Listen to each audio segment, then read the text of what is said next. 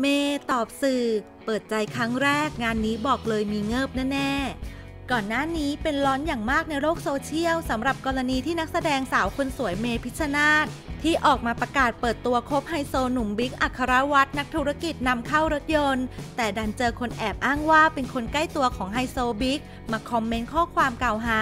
อ้างว่าสาวเมย์ไปแย่งไฮโซบิ๊กมาจากแฟนสาวที่คบกันมานาน จนเป็นประเด็นร้อนถกเถียงกันอย่างดุเดือด แต่สาวเมย์ก็ได้ออกโรงเคลียร์อย่างชัดเจนแล้วว่าเธอไม่ได้เป็นมือที่ 3 ของใคร ด้านหนุ่มบิ๊กเองก็ได้ออกมายืนยันแบบแมนๆว่าได้เลิกลากับแฟนเก่าไปนานแล้ว ล่าสุดเจ้าตัวก็ได้ออกมาเคลียร์อีกรอบ กันชัดๆให้ฟังด้วยว่า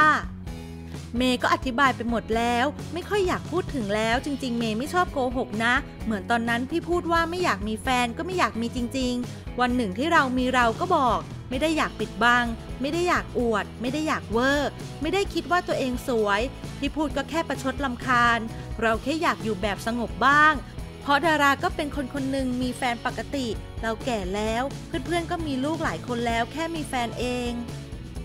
เราก็ถามคุณบิ๊กนะว่าคนนั้นเป็นใคร ทำไมเขาบอกเป็นลูกน้อง จริง ๆ ก็สวยนะ ไม่รู้จะพูดยังไง แต่ก็ไม่ได้รู้สึกอะไร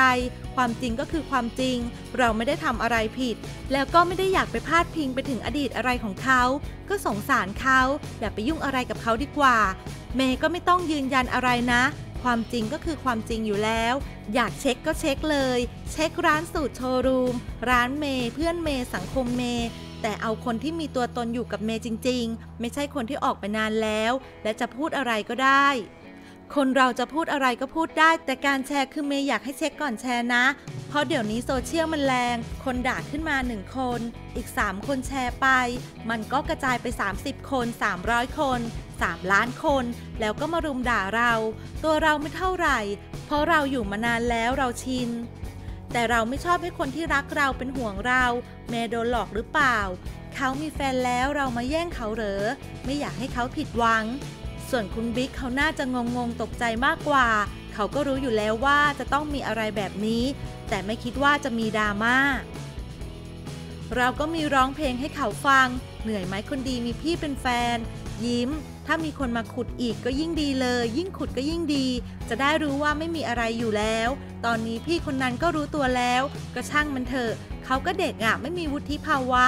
แต่บางเพจที่อยากได้ยอดไลค์หน้าบางด่าเราไว้เยอะ แต่ยังอยากด่าต่อก็แล้วแต่ เมย์ไม่ใช่คนขี้ฟ้อง แล้วก็เกลียดคนที่เอาไปเขียนว่าเมย์เอะอะฟ้อง เมย์อยู่เฉยๆเลยนะ ให้ทางฝ่ายกฎหมายเมย์จัดการดีกว่า ค่อยากให้เห็นใจหน่อย เมย์เป็นคนธรรมดาปกติ เมย์ไม่เคยโกหก ไม่เคยผิดศีลธรรม อยู่มานานขนาดนี้แล้วกอดคันแน่นมาก ยิ้ม แต่ก็พร้อมลงถ้าเจอคนที่รัก ส่วนกับคนนี้ก็ต้องดูกันต่อไป